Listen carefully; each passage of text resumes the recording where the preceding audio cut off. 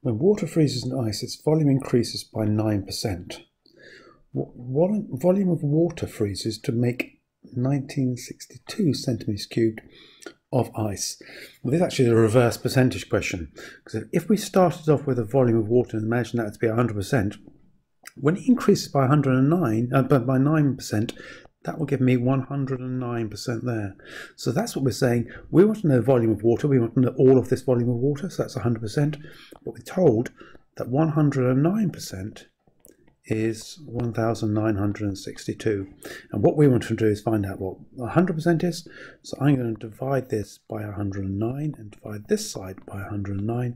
And that will say in essence that 1% is 1962 divided by 109 is 18 and then times that by 100 and times this one by 100 and that will say that 100% is 1800 and that's what our answer is.